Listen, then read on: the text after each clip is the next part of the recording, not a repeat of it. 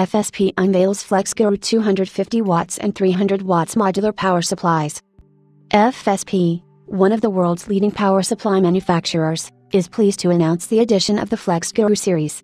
This series of compact, modular, quiet and efficient power supplies is designed for roles such as IPC, industrial PC, HTPC, home theater personal computer, edge computing, and NAS, network attached storage, and NAS servers. The FlexGuru series includes 250W and 300W models.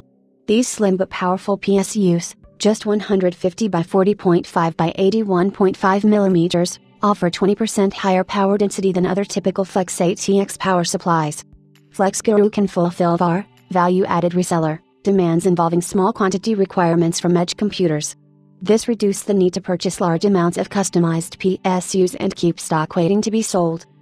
FSP's FlexGuru Flex ATX's modular design with slim ribbon cables allows for easier setup, reducing cable clutter and improves airflow efficiency.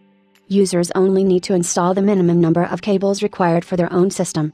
Modular connectors allow users to efficiently move cables, and reduce debugging time for a better experience.